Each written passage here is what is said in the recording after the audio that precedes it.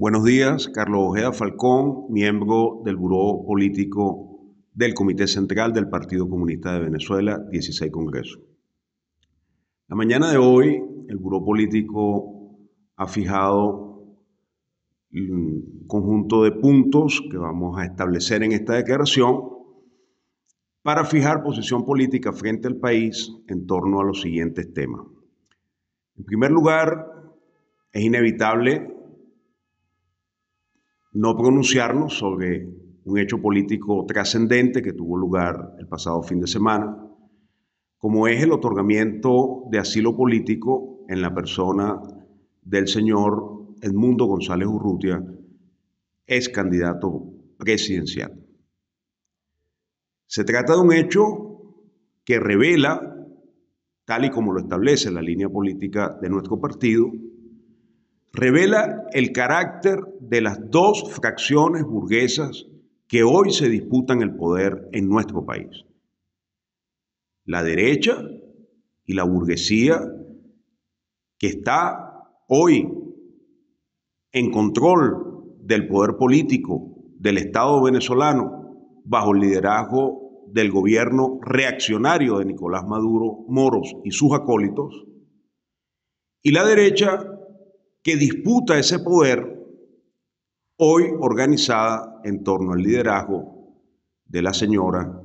María Corina Machado, hija de una ilustre familia burguesa de este país, y del señor Edmundo González Urrutia, un hombre que representa ideas conservadoras que históricamente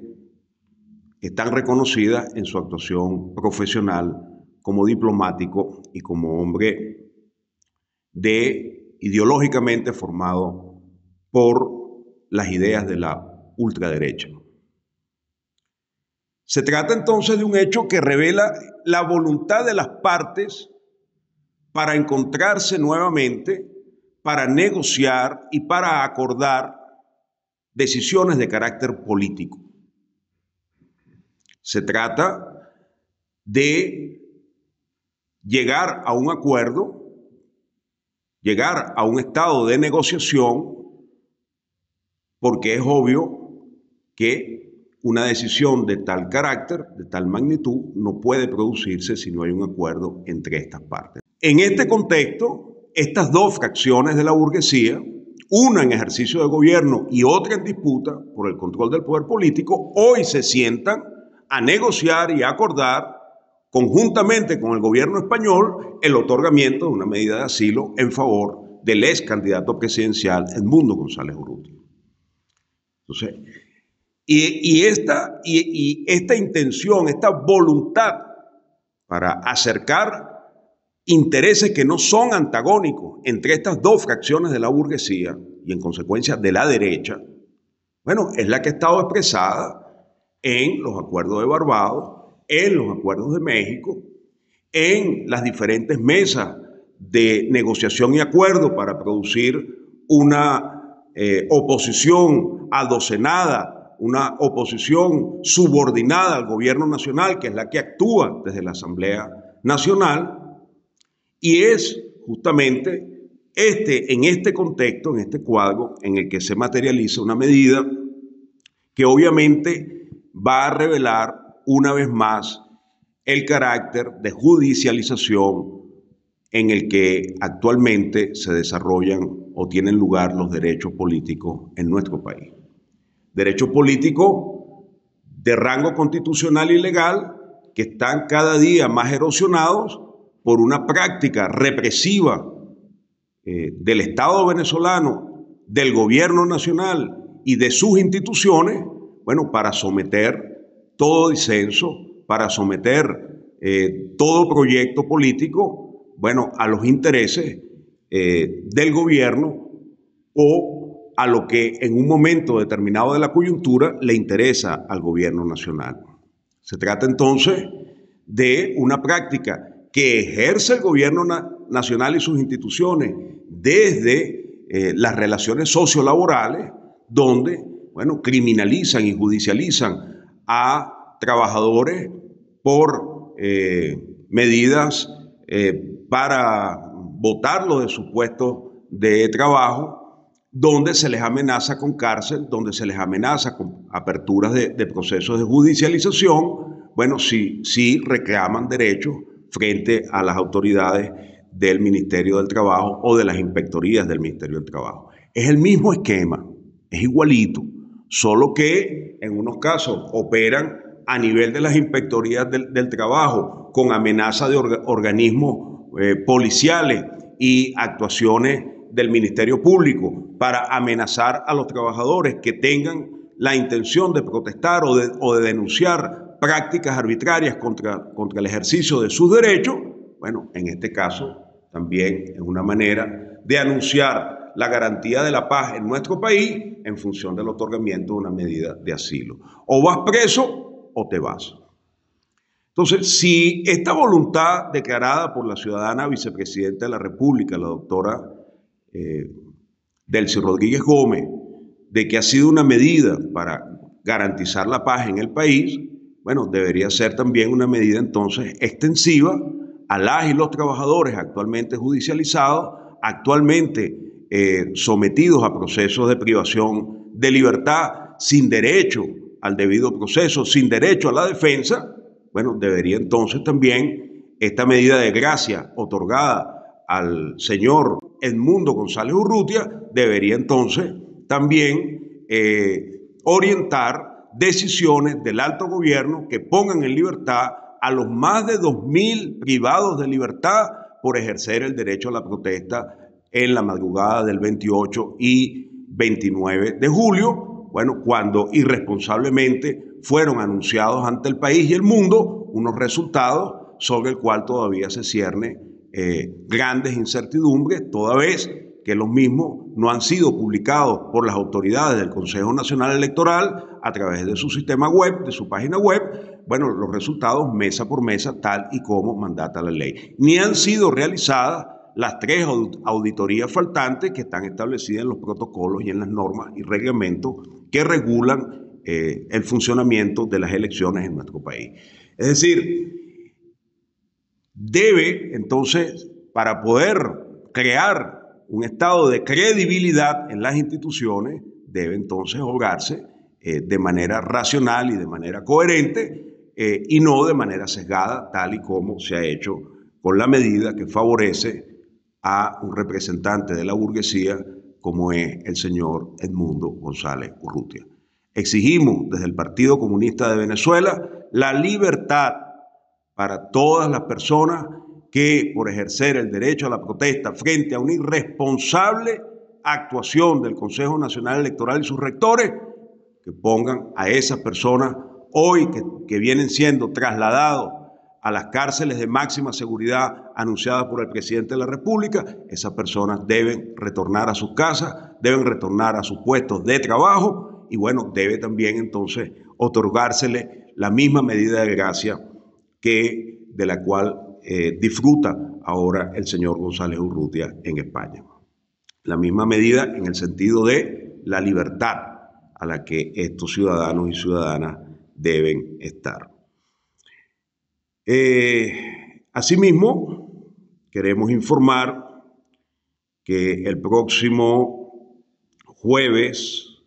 12 eh, de septiembre a las 3 de la tarde en los espacios del edificio Canta Claro, se va a realizar un foro, un foro que está organizado por el encuentro, por los factores que participamos del esfuerzo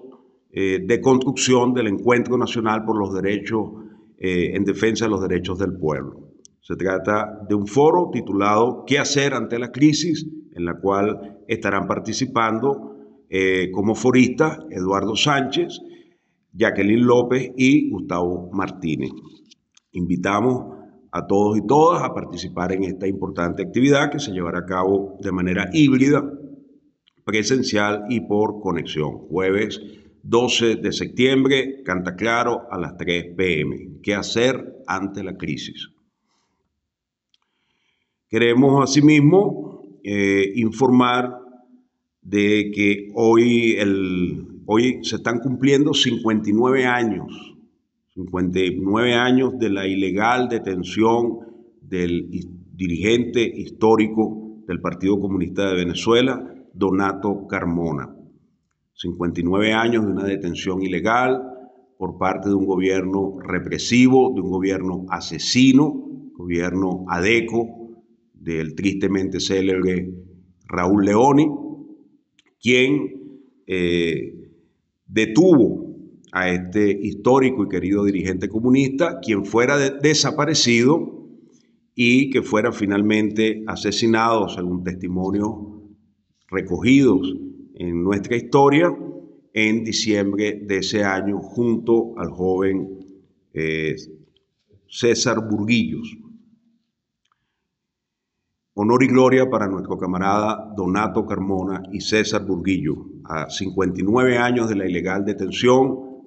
por parte de un gobierno autoritario, represor, lacayuno y entreguista como fue el gobierno de Raúl León. Tal parece, lamentablemente, que 59 años después,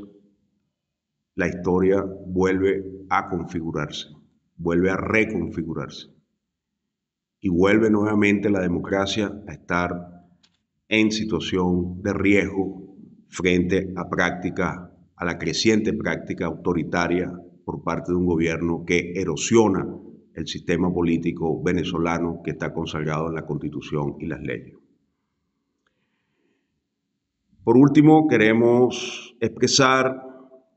nuestra solidaridad, nuestro repudio, en primer lugar, al carácter guerrerista del Estado sionista de Israel